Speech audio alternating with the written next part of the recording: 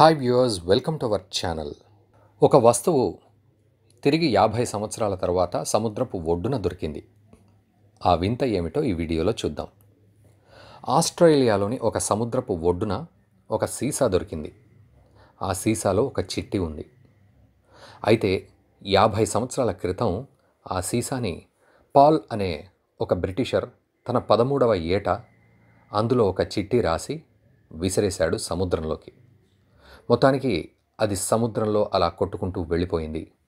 ఈ విషయం అతను పడవలో ప్రయాణం చేస్తున్నప్పుడు ఆ సముద్రంలో వేశాడు ఆ బాటిల్ని.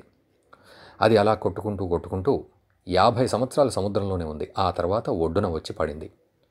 ఏదేమైతేనేం యాభై సంవత్సరాల తర్వాత ఒక వ్యక్తికి దొరికింది ఆ సీసా. అందులో ఏదో రాసి ఉంది. ఆ సీసాని మెల్లిగా మూత ఓపెన్ చేసి చూశాడు.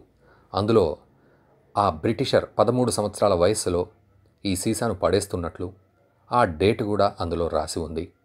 తాను పదమూడవ ఏట సముద్రంలో పడవలో ప్రయాణం చేస్తున్నప్పుడు ఈ సీసాని ఇలా పడేస్తున్నాను. ఇది ఎవరికి ఏ కాలంలో దొరికిందో మరి చూసుకోండి అంటూ దాంట్లో రాయడం జరిగింది.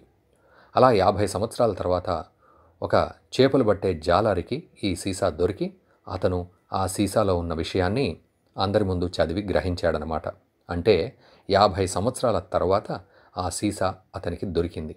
ఇది నిజంగా ఏ రకంగానూ ఉపయోగపడే పని కాకపోయినా భూమి మీద జరిగే ఆశ్చర్యకరమైన వింతైన ఘటనల్లో ఇది కూడా ఒకటి. యాభై సంవత్సరాల తర్వాత అలా భద్రపరచబడ్డట్టుగా ఈ చిట్టి దొరకడం అనేది నిజంగా సామాన్య విషయం అయితే కాదు. అండ్ నిజంగా ఆ వ్యక్తికే గనక అంటే ఆ పదమూడు సంవత్సరాల వ్యక్తికే గనక ఈ సీసా దొరికుంటే ఇంకా అద్భుతంగా ఉండేది. కానీ అలా దొరకడం కూడా అసాధ్యం. ఆ జాలారికి దొరికి యాభై సంవత్సరాల తర్వాత ఇది దొరికింది అనే సంకేతం అందులో వెలువడడం ఆ జాలర్లందరినీ కూడా ఆశ్చర్యపరిచింది. వారంతా దాని గురించే మాట్లాడుకుంటూ నిద్రపోయారు. చూసారుగా ఇలాంటి మరిన్ని ఇంట్రెస్టింగ్ వీడియోస్ కోసం మా ఛానల్ని లైక్ షేర్ అండ్ సబ్స్క్రైబ్ చేయండి.